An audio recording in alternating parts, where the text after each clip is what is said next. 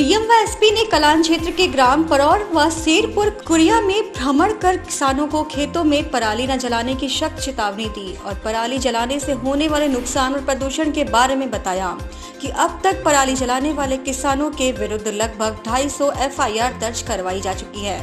आगे भी यह सिलसिला पराली जलाने वालों के विरुद्ध चलता रहेगा। उन्होंने किसानों से अपील की है कि पराली को खेतों में न जलाकर कंपोस्ट खाद बनाएँ, जिससे खेतों में फ़सलों की पैदावार बढ़ेगी और यूरिया व डीएपी की आवश्यकता कम हो जाएगी। डीएम ने शेरपुर कुरिया गाँव के प्राथमिक स्वास्थ्य केंद्र का भी निरीक्षण किया। जहाँ व्यवस्थाओं पर संतोष व्यक्त किया गया। किंतु मेन रोड से स्वास्थ्य केंद्र तक सड़क न होने पर प्रधान से तत्काल नरेगा या ग्राम पंचायत निधि से पक्की सड़क बनवाने के निर्देश दिए गए। निकल रहे हैं। आप लोग देख रहे होंगे कि यहाँ पराली बची हुई है खेतों में। धान कट गया है।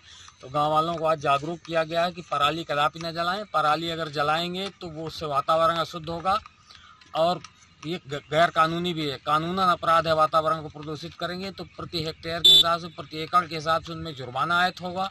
जुर्माने की वसूली की जाएगी और कानूनी कार्रवाई होगी, मुकदमे कायम होंगे, जेल भेजे जाएँगे। तो कदापि पराली जलाने की कोई घटना ना हो। अगर आप आसपास के और किसान ऐसा कुछ करते हैं तो उनको भी रोकिए।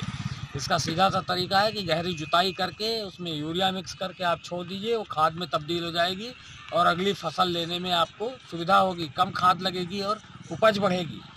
तो आप लोगों से भी अपील है कि गाँव में हर जगह इस बात को प्रचारित प्रसारित करिए। इससे न केवल शाहजहाँपुर और आसपास के इलाकों में प्रदूषण फैलेगा, बल्कि दिल्ली तक प्रदूषण जा रहा है। और इस पर माननीय न्यायालय ने भी बड़ा कठोर रुख अपनाया है। तो इसमें कार्रवाइयाँ बहुत सख्ती से की जाएँगी। अब तक ज़िले में लगभग ढाई सौ एफ़ कराई जा चुकी हैं और बहुत सारे लोगों से पैसा इसका वसूला जा चुका है जुर्माने के रूप में। करीब दो सौ छप्पन लोगों के खिलाफ कार्रवाई इसमें हुई है, जिसमें जुर्माना वसूला गया है। और लगभग सत्तर के आसपास एफ़ हो चुकी हैं जिनमें गिरफ्तारी इत्यादि की कार्रवाइयाँ की जाएँगी।